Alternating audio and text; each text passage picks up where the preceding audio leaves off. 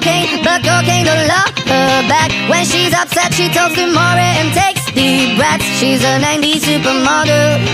Uh, way back in high school when she was a good Christian. I used to know her, but she's got a new best friend. A drag queen named the Virgin Mary takes confessions. She's a 90s supermodel.